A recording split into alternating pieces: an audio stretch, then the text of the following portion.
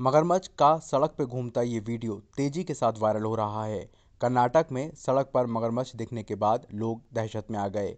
Viral video में नज़र आ रहा है कि ये मगरमच्छ सड़क पर बेफिक्री के साथ घूम रहा है। वीडियो में नज़र आ रहा है कि कई घरों के आसपास ये मगरमच्छ घूम रहा है, हालाँकि घर के दरवाजे बंद हैं। बताया जा रहा है कि ये वायरल वीडियो कर्नाटक के किसी गाँव का है। वीडियो में नज़र आ रहा है कि जब मगरमच्छ सड़क पर टहल रहा था, तब अचानक से एक कुत्ता उसके सामने आ जाता है। लेकिन मगरमच्छ को रास्ते में देखने के बाद भी ये कुत्ता वापस मुड़कर चला जाता है। उस वक्त मगरमच्छ भी कुत्ते पर ध्यान नहीं देता और आगे बढ़ जाता है।